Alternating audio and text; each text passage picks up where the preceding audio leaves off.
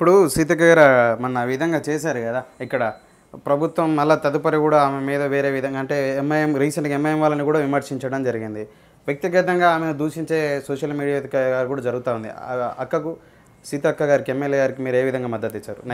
ఒక అన్నగా నేను సీతక్కకు సోషల్ మీడియా చేసినా ఏ మీడియా చేసినా మేము గిట్ట తప్పకుండా ఆమెకు సపోర్ట్ చేస్తాం.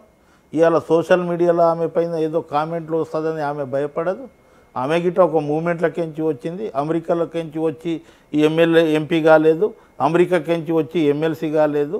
తూటలు వంకలు వాగులు చెట్లు గన్నులు చెట్లు చెదలు అన్ని చూసి ఎలగిట సీతక్క దగ్గర ఏముందంటే కొడితే ఐదు లక్షల రూపాయలు లేవు పాపం. ఇవాళ ఏముంది? నిజాయితీ ఉంది ఒకటి. ఇవాళ సత్యహరిచంద్రుని దగ్గర ఏం లేకూడదు సత్యహరిచంద్రుని ఎందు- అందరు ఎందుకు గోలుస్తారు? నిజాయితీ ఆ నిజాయితీ ఆమె ఎంబడి ఉంది. ఆ నిజాయితీ ఆమెతో ఆమెను గెలిపిస్తుంది. ఆ నిజాయితీ మంచి పొజిషన్లో ఆమెను తీసుకో ఒక వాదన కూడా ఉంది.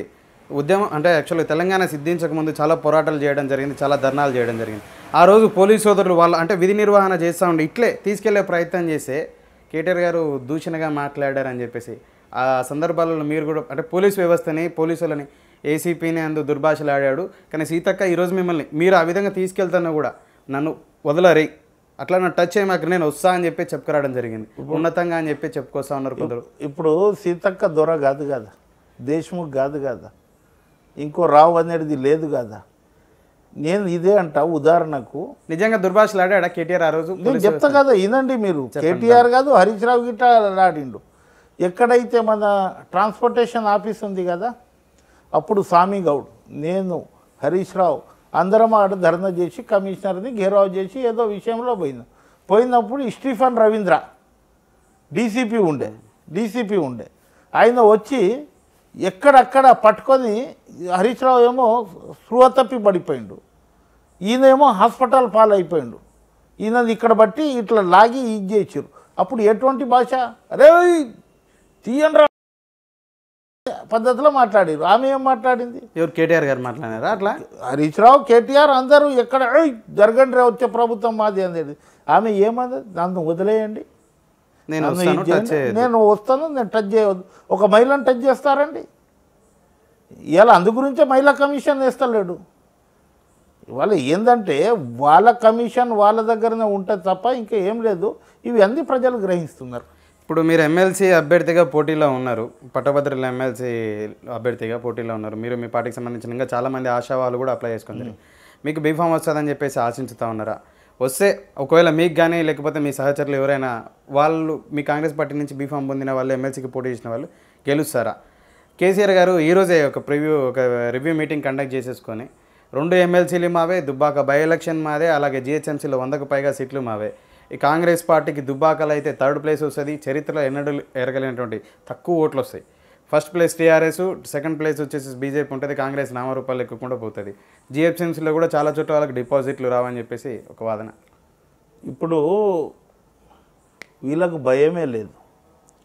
వీళ్ళు సంక్షేమ పథకాలు బాగా చేస్తారు రెండు వేల పింఛన్ ఇస్తుండ్రు.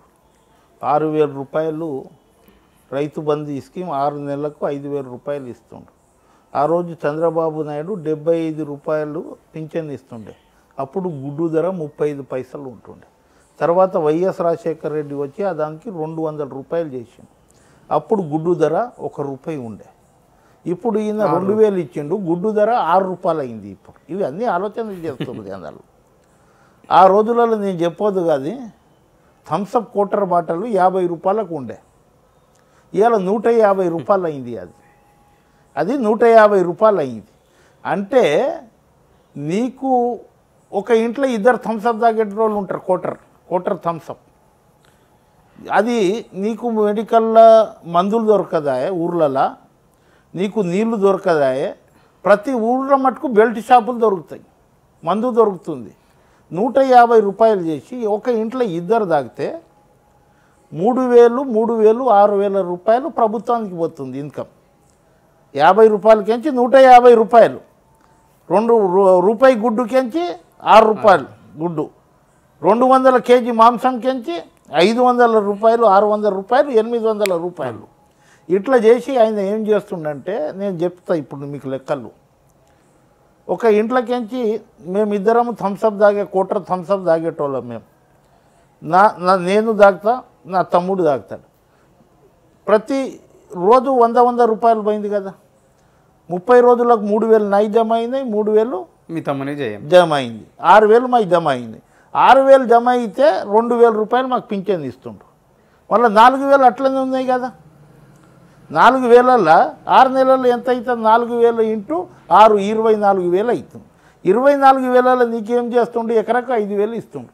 మళ్ళీ పంతొమ్మిది వేల రూపాయలు అక్కడ మిగులుతుంది. ఇగో ఇది సంక్షేమ పథకాలు. దోచుకునేది చెప్తలేడు. ఈ దోచుకునేది ఇది చెప్తలేడు. ఇవాళ ఈ సంక్షేమ పథకాలు ఏదైతే చెప్తుండో ఈయన ఇవాళ నూట నాలుగు సీట్లు ఉన్నాయి. పోయినసారి ఏమన్నాడు? గ్రేటర్ హైదరాబాద్ ఎన్నికల్లో తొంభై తొమ్మిది సీట్లు ఎందుకు వచ్చినాయి? నేను అప్పుడు ఉన్నా కదా? నేను అదే పార్టీలో ఉన్నా కదా? మీరు మాకు మ్యాండేట్ ఇవ్వండి మేయర్గా మమ్మల్ని గెలిపియండి హుసాన్ సాగర్ని కొబ్బరి నీళ్ళు లెక్క చేస్తా. హుసాన్ సాగర్ మురికిని తీసి మొత్తం హైదరాబాద్ సిటీ ప్రజలను డ్రింకింగ్ వాటర్ చేస్తా. తర్వాత మూసీ నదిని పక్షాలన చేసి మొత్తం పడవలు నడిపిస్తా బోటింగ్ నడిపిస్తా దోమలు ఉండే ఏముండయి యాదానికి మూడు వందల కోట్లు కేటాయిస్తా. ఇక్కడ చేసిండు కొబ్బరి నీళ్ళు కనిపిస్తుంది. ఆ దాని ముంగటే ఓ పెద్ద టవర్ కడతా అన్నాడు. టవర్ కట్టేసిండు. ఇవాళ కేటీఆర్ ఏమంటుండంటే నూట నాలుగు సీట్లు మేము గెలుస్తాం కేసీఆర్ సర్వే చేస్తాడు రాత్రిలో చేసేసిండు సర్వే. నూట నాలుగు సీట్లు గెలుస్తాము ఇప్పుడు ఇది ఏమో కొబ్బరి నీళ్ళతోటి ఇదైంది.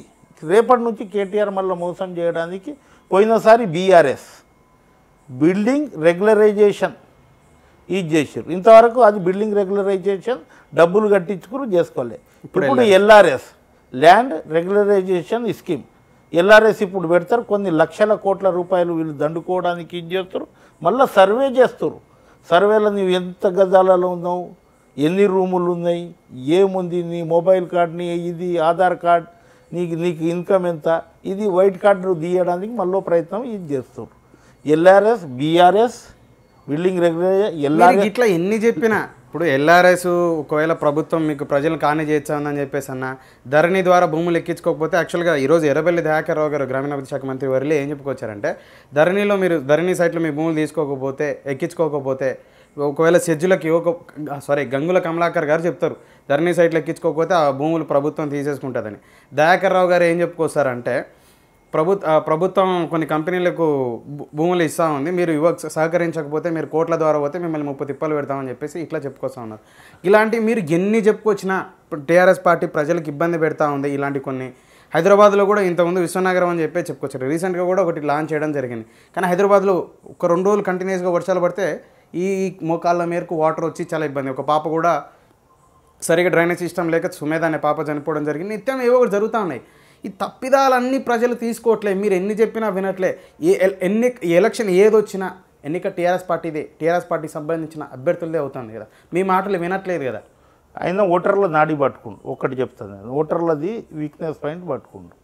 నేను మొన్న ఒక సర్వే చేయించిన ఆ సర్వేలో ఏముందంటే ఒక నారాయణఖేడ్ నియోజకవర్గం అనుకో శ్రీశిల్ల నియోజకవర్గం అనుకుందాం ఎనిమిది పర్సెంట్ తాగుబోతులు ఓటేస్తారు. ఆ ఎనిమిది రోజులు ఎవరు తాగుతారో? వానికి ఆయనకి సంక్షేమం లేదు ఆయనకి ఉంటికు ఉద్యోగం లేదు అటువంటి నాడి పట్టిండు ఆయన. ఇవాళ మీరు అంటుర్రు ధరణి వెబ్సైట్. ధరణి వెబ్సైట్లో మీ రికార్డులు లేకపోతే మిమ్మల్ని మీ భూములు గుంజుకుంటాం. మీకు కోర్టుకు ముప్పి తొప్పలు ఒక అధికార ప్రతినిధి ప్రజాస్వామ్యంలో ఉన్నోళ్ళు మీకు ముప్పు తెప్పలు పెడతారంటే మనం గడిల రాజ్యం అనే ఇల్లేటోళ్ళం. ఆ గడిల రాజ్యాన్ని మనం చూస్తున్నాం. నేను ఆ రోజు రైతు బంధు స్కీమ్ ఇచ్చేటప్పుడే నేను చెప్పిన. రైతు బంధు స్కీమ్ ఐదు ఎకరాల వరకు పెట్టండి సన్నకార చిన్నకార రైతులకు పెట్టండి. అందులో ఎవరైతే మన భూములు తీసుకొని ఏది మనం కవులకు చేసుకుంటారో కవులు రైతులకు పెట్టండి. చిన్న చిన్న సహకార సన్న సహకార రైతులకు పెట్టాలి. అది ఐదు ఎకరాలే కటాఫ్ పెట్టాలి. ఇవి ఇప్పుడు నేను ఒక రెండు వందల ఎకరాలు ఉంటుంది నాకు. నేను నాగలు దున్నా ఏం చేయ? ఐదు వేల రూపాయలు అప్పుడు నాలుగు వేలు ఉండే. నాలుగు వేల రూపాయల చొప్పున వంద ఎకరాలకు నేను నాలుగు లక్షల రూపాయలు పోతే ఆడు ఎందుకు ఇది చేస్తాడు? ఎవరైతే నాగలు దున్నుతుందో అంతే ఇవ్వాలి. సన్నకార చందకార రైతులకు ఇవ్వాలి. ఐదు ఎకరాలు కటాఫ్ పెట్టాలి. ఎవరైతే దున్నటానికే భూమి ఏదైతే శ్రీమతి ఇందిరాగాంధీ ఆ రోజు దొరల దగ్గర గుంజుకొని భూములు ఇచ్చింది. బ్యాంకులను నేషనలైజ్డ్ చేసినాం. ల్యాండ్ సీలింగ్ తీసుకువచ్చింది ఈయన ఏం చేసిండంటే ధరణి వెబ్సైట్ అని ఇవాళ ఏం చేస్తుర్రంటే పాలాభిషేకం చేస్తారు ఏది? మన రెవెన్యూ చట్టం ఇదైందని పాలాభిషేకం చేస్తారు ట్రాక్టర్ల మీద జనాలను తీసుకొచ్చి ఒక ట్రాక్టర్కి మూడు వేలు పెట్టి అందులో జనం గుర్తుండేటువంటి ఐదు వందల రూపాయలు ఇచ్చి ఎమ్మెల్యేలు పట్టుకొస్తారు